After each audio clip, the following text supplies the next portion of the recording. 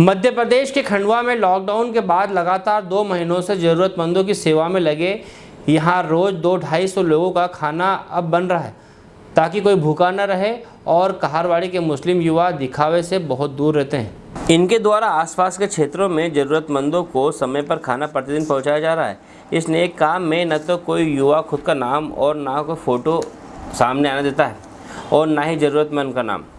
रमज़ान माह के अंतिम शुक्रवार को कहारवाड़ी मोहल्ले के रोज़गार युवाओं को जब बात पता चली तो रेलवे स्टेशन पर यूपी, बिहार के प्रवासी मजदूरों और भोजन पानी के लिए तरस कर हंगामा कर रहे थे।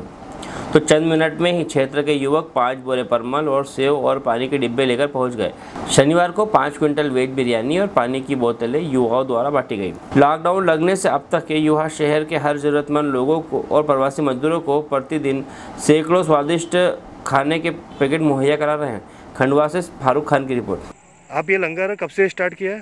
जब से लॉकडाउन लगा हुआ है जो दो महीनों समथिंग में होने पा गया। दो महीने से ज़्यादा सम टाइम हो गया।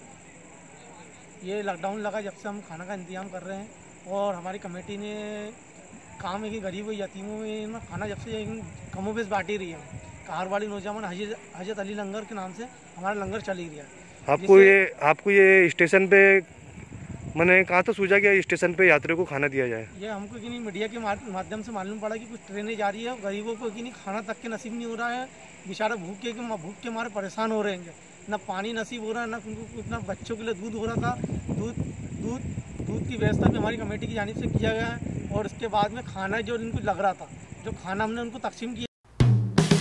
हेलो फ्रेंड्स आप देख रहे हैं हमारा channel S W twenty four news हमारे सारे वीडियो सबसे पहले देखने के लिए आप हमारे चैनल को सब्सक्राइब करें और पास में लगे बेल आइकन को दबाना बिल्कुल भी ना भूलें।